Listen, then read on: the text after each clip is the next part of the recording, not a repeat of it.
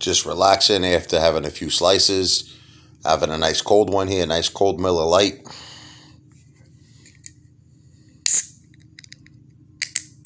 Nice.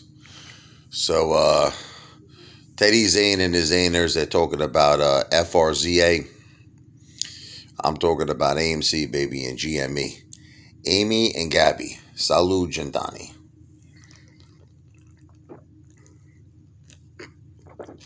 See, the thing that upsets me, I got no problem with people making money. People are like, oh man, you got a problem with us making money? Absolutely not.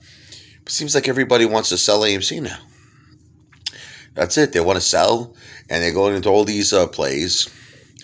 You're kind of walking right into the, the, the hedge funds traps. This is what they want. This is exactly what they want you to do. Uh, you just don't get it. You don't get it, man. This is this is not just about money. This is about a movement. This is about beating the hedge funds, showing them they can't mess with the retail investors. And let me tell you something. If we all stick together with this thing, we could beat them. We could win the war.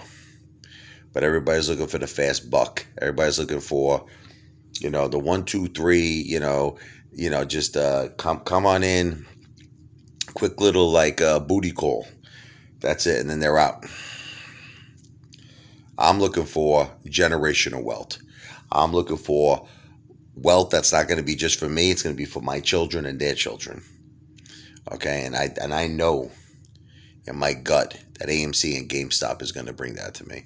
But listen, you could all have fun. All right, have a good time. Go make go make your little small little uh, measly dollars. Leave the uh, generational wealth and the, and the life changing wealth for the big boys. Okay. I mean, it's, I'm only saying this if you're selling your AMC. Look, if you're not selling your AMC, you're not selling your GameStop, then you know what? And you got some side money, God bless. I wish you nothing but the best of success, health, happiness, and success. God bless.